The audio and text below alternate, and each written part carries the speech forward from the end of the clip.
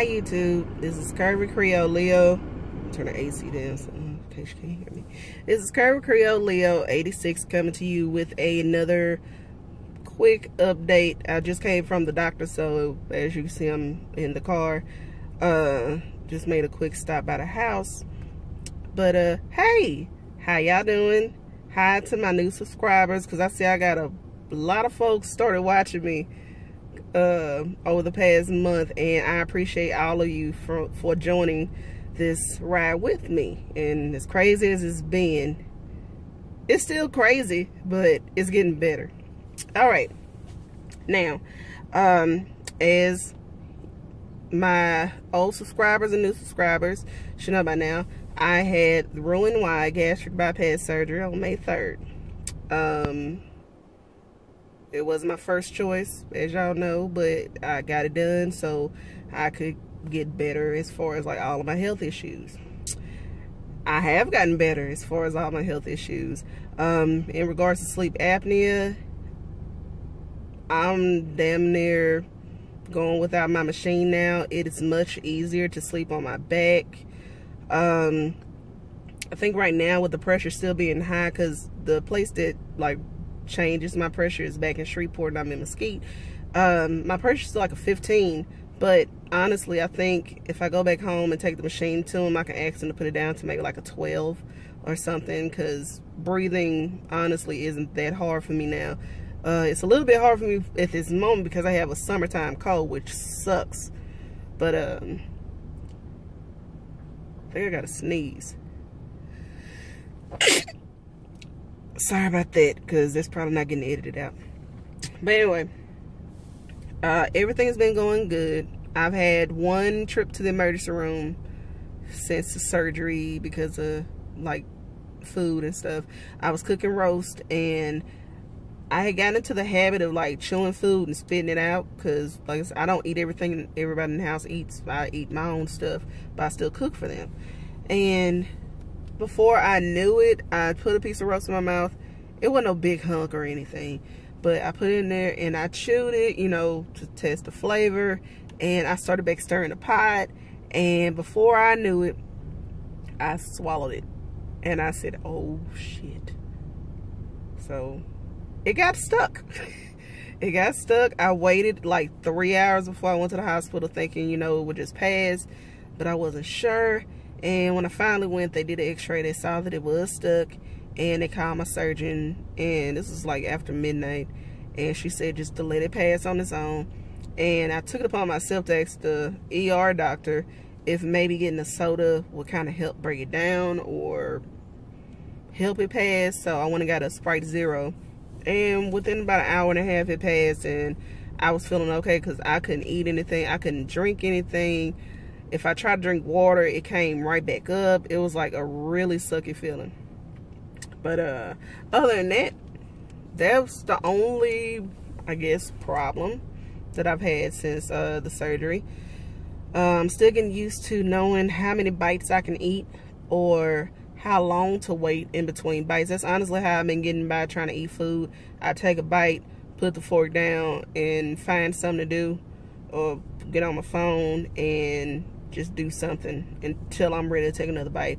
Because if I take too many, I get that foamy, nauseated feeling in the back of my throat, and y'all know the rest. But, uh, yeah, surgery uh, weight was 326, and today I went to the doctor. Well, actually, today and yesterday, I went to my general doctor yesterday and the GYN today, and I weighed the same, which is, drum roll, I know that looks weird. Uh, 296. So since surgery, I have lost 30 pounds in a little over a month. Overall, since the pre-op um, thing, I was 350 back then.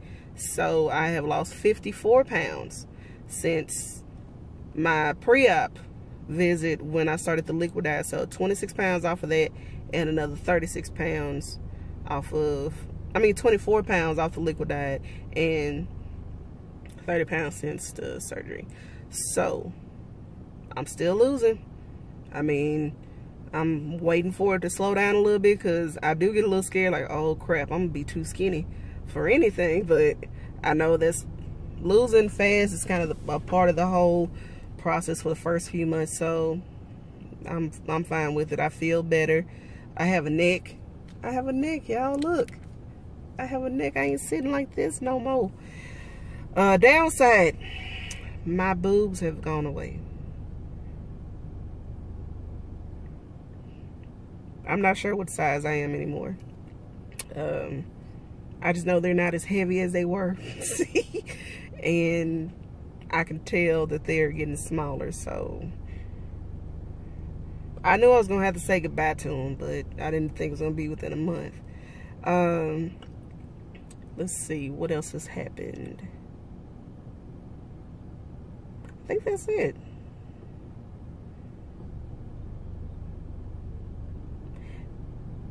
Nothing exciting has happened. Um, I'm still working hard trying to get my protein and my liquid in and reminding myself to take my vitamins. So like now I even got my vitamins sitting in the car with me so I remember to take them like because I end up driving somewhere almost every day so just to make sure I have them with me. Um, let's see. Size wise, the main difference I'm seeing is in my stomach. I still have like my spare tire. I don't know if you can see, but my spare tire right there. Um, but I mean, definitely my stomach has gotten smaller. Uh, I know I'm in a car, and I guess I might look weird to some people, but um, my surgery scars, like there's one and there's one and there's like everything is pretty minimal. Like honestly, I forget that the scars are even there. But uh yeah, other than that, I haven't really had any discomfort, you know, unless I eat or drink too much. I found out that I am a lightweight now. I had a glass of Arbor Mist wine or wine cooler, whatever you want to call Arbor Mist, and it put me to sleep. So, no more hard drinking for me, which is hard. Like, I was one of them people with a whole bottle of tequila, like, I'm ready to go. Nope. Wine, and I'm out. I'm completely out. But, uh, yeah, and as far as new developments and everything, I guess dealing doctor wise or whatnot, nothing else has been going on. My general doctor is very proud. Um, I went to the GYN, as I said before, today, and I actually had the Mirena removed, which I wish somebody had explained it to me a little more uh, before I got it, instead of the doctor forcing me into doing it. Um, because basically she just she just kept saying, well, you know, if you get pregnant, they won't do your surgery. This is before the surgery. And I told her I understand that. And she's like, well, what are you gonna do? And I was like, well, there's other forms of birth control, condoms, spermicide, uh, the that little contraceptive film. Like, it's other stuff to use, but she was just so adamant about it, and I decided to listen to the doctor, thinking that she had my best interest at heart but she did not explain anything. And before I could like even get off the table to ask her more questions after it was implanted, she was already out the door and I didn't see her anymore.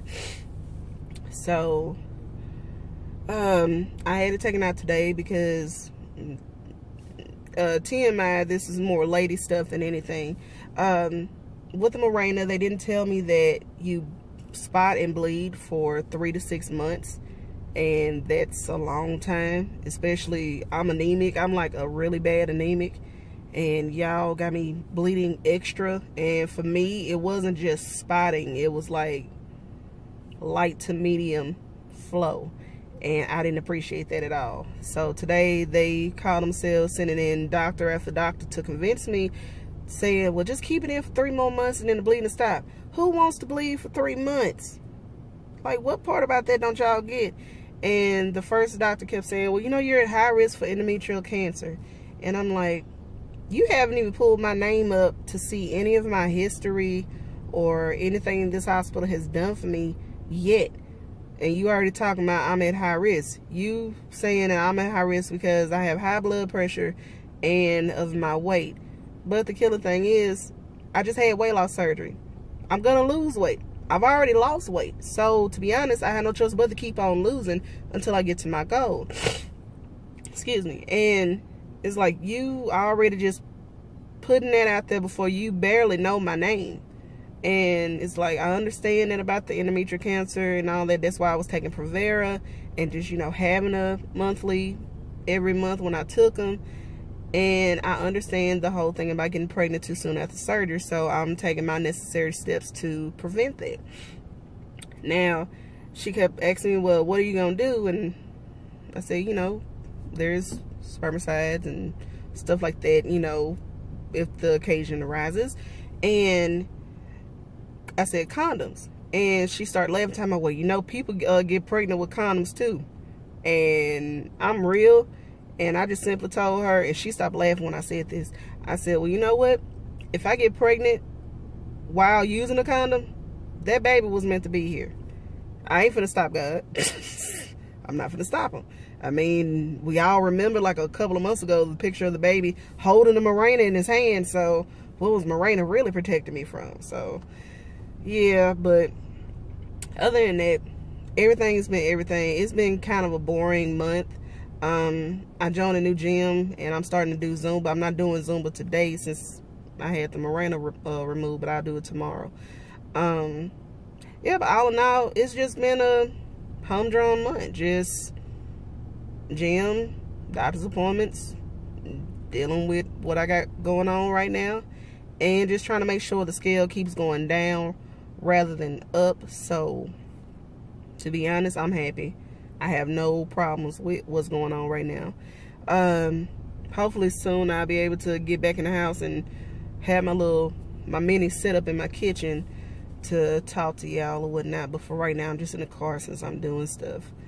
Um, I'm trying to make sure I'm not missing anything. That's pretty much it. The only exciting thing was the emergency room visit with the stuck piece of it's weird to say. I went to the emergency room because I had a piece of meat stuck down my throat and in my stomach. That That's weird to say, but it's funny. Uh, other than that, that's it.